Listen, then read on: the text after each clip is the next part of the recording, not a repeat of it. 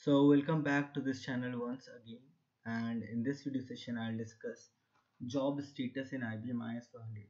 So a job status is something which defines the state of a job whether it's in job queue, whether it's uh, uh, held, whether it's running, whether it's uh, on message wait, whether it's in uh, end state, whether it's active or whether it's in out queue so any other uh, status as well. So there can be multiple statuses which can be assigned to a job based upon its uh, state current state. So let's see what are the possible values of the uh, job status.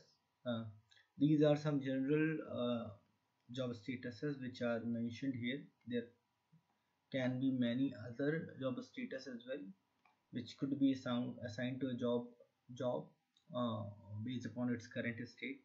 So let's discuss these some some of them uh, here. So job queue is something where when we submit a job using the submit job command we can uh, the job goes to the job queue and the status becomes job queue which means it is in job queue and it's waiting for its turn.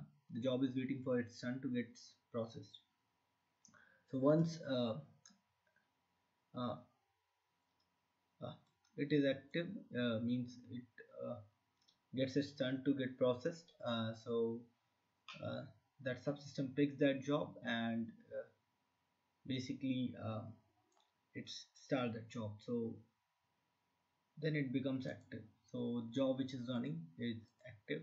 Message wait is something where you can uh, say if a job is running and there could be some error and then uh, uh, it waits uh, it goes to the message wait state which means uh, it is waiting for the user to reply on that job or it's waiting for some messages from the job from the user. Out queue state is something where uh, the job is finished executing means it is finished executed it's completed and it's basically printed the spool on the out queue so it's an out queue state. Uh, once it is finished so the status could would be finished. End which means uh, if I'm ending a job using the end job command or specify and specifying star immediate option then the uh, status go, goes to end end of job means uh, when I am signing off from the system then uh, the job status can be end of job. So disconnected is something where the job is disconnected uh, from the workstation. Syst request uh, is the uh, status where the job is suspended by the system request or assigned to some other secondary job event wait is something where a job is uh, waiting for an event to occur. Hold job is something where we hold the job. So it is status of the job is hold delay wait where uh, delay job command is executing and it's waiting for that command to, be finished. So it's in delay wait uh, status. Time wait means it is waiting for some interval to be uh, so that uh, time wait till that time it is in time wait state. Display wait is something where it's waiting for, for some messages or from the workstation. And lock wait is something where it is waiting for some lock. So these are some possible statuses. Uh, let me show you uh, the screen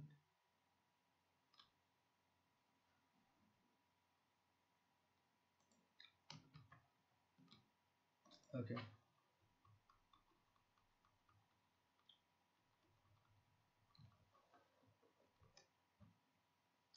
So here you can see uh, delay wait event wait there could be some other uh, status as well which I already mentioned.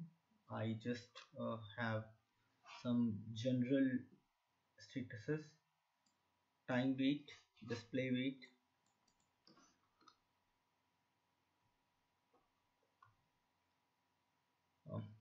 the status can be run as well.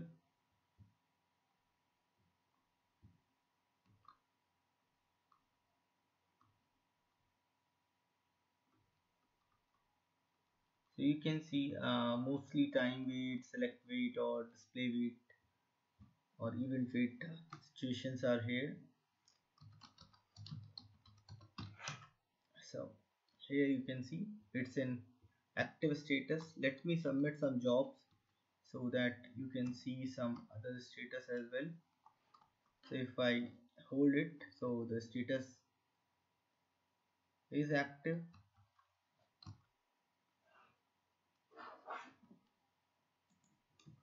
Hold star yes. So you can see it's in job queue and it's in job queue and it's released. Status is held so uh, let me um, end it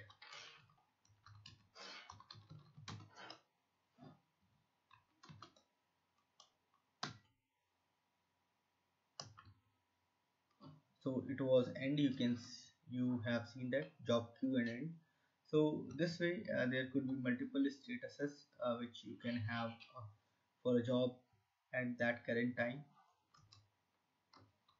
So that's all in this video. Thank you and have a nice